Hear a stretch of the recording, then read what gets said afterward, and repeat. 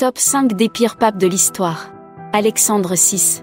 Il était un riche espagnol qui aurait acheté la papauté en soudoyant ses compagnons électeurs. Jean XII. Il monte sur le trône alors qu'il n'a que 18 ans, il transforma alors sa résidence en maison de prostitution, il participait à des meurtres, invoquait des démons et avait même des relations sexuelles avec ses sœurs. Étienne VI. Ce pape a commencé son règne par un spectacle macabre. En effet, il a déterré son prédécesseur, le pape Formose, et a montré son cadavre pour le juger. Le corps de Formose fut placé sur un trône pendant qu'Étienne VI lui posait des questions sans réponse. Benoît IX. Il a été pape trois fois dans sa vie.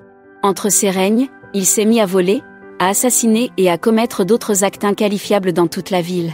Paul IV.